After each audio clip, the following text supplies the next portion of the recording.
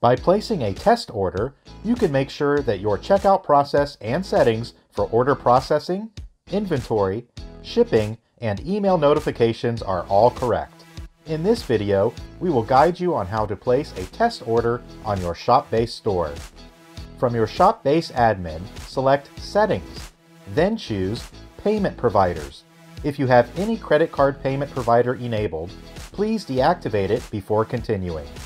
Click on the checkbox icon of that account, then choose Deactivate. You should now see the Accept Credit Card section.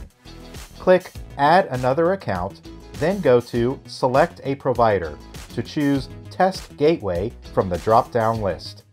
You can also enter a name for this account, and it will only be used in the ShopBase dashboard and order details. Continue by clicking Add Account to activate the account. Now you will see two credit card numbers. Copy the first one if you want to simulate an approved transaction, or the second one for declined transaction or abandoned checkout. Go to your online store and place an order as a customer would.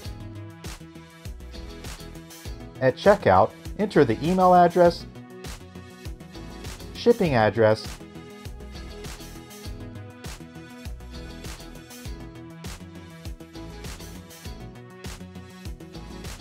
and shipping method depending on your preferences. In the credit card information section, paste the credit card number you copied before. Note that any cardholder name, card security code, and expiration date in the future will all work. Finish by clicking Complete Order, and you are done. While Test Gateway is set up, every order that you create with the test credit card is a test order.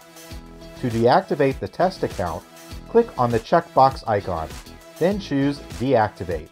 You can read our help doc in the description below to know how to use the Stripe test cards for test orders. Here is all the step-by-step -step information to place a test order. Visit our next video tutorial to know how to use ShopBase effectively. Thank you for watching. Contact us via email, support at shopbase.com. And don't forget to subscribe to our ShopBase YouTube channel for more video tutorials.